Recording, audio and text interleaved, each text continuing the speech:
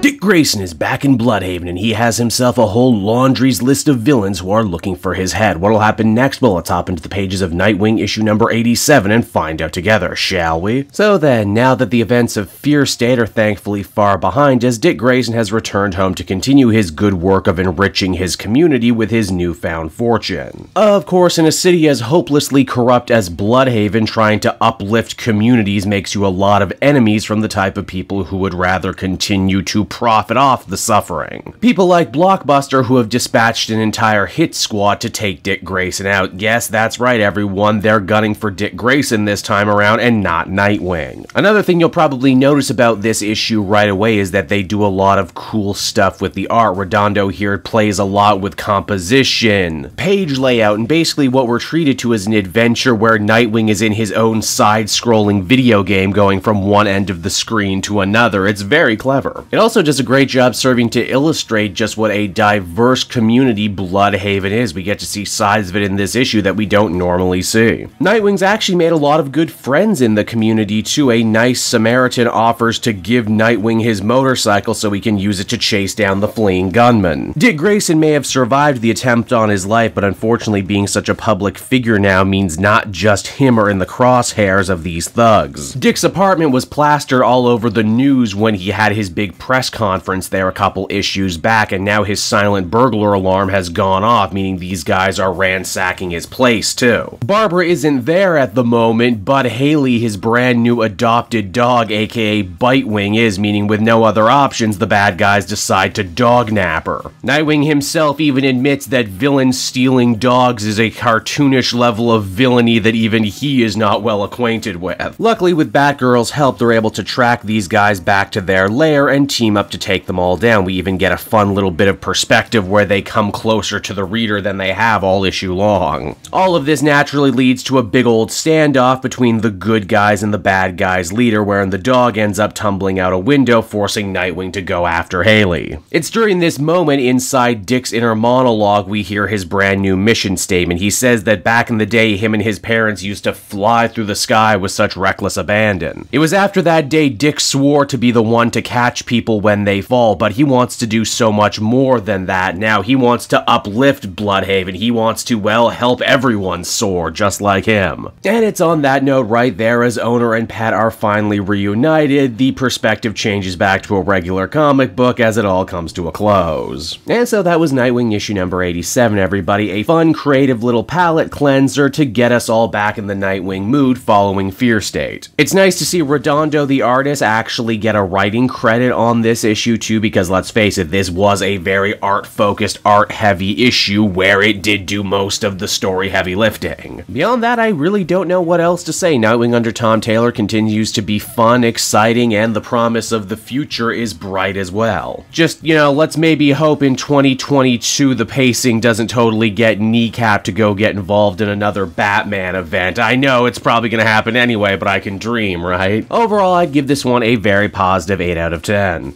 Hey there everyone, it's your old pal Caped Joel again, thanking you so much for watching to the end of the video. I hope you enjoyed it, and if you did, why not check out my Amazon link down in the description. Yes, that's right, the Caped Joel channel officially has its own Amazon storefront now. You can pick up a comic or anything else for that matter, and if you did, you'd really be helping me in the channel. So with that out of the way everyone, I will see you again next time. Bye-bye.